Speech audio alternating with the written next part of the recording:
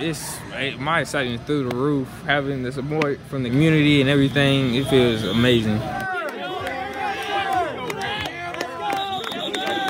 Three, two, five. Work, Kobe, work, Kobe. Um, Whatever. I guess I had a good year personally, but I was more focused on the team. I really want us to play a lot better, and because we started out great, three and zero, then we lost the next seven, and everyone was just crushed. Especially when um, Garrett Lutz, when he went down, it just was all downhill from there. So really, we're trying to work on being more consistent throughout the year.